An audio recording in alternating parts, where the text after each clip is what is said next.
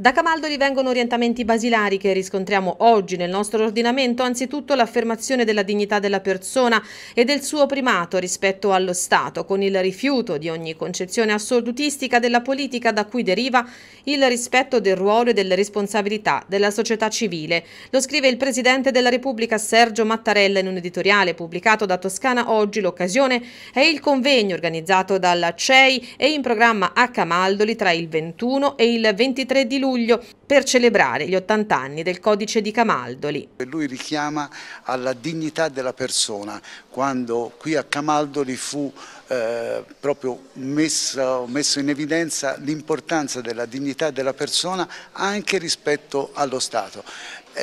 Qualcosa che andava contro quell'assolutismo, quel, quel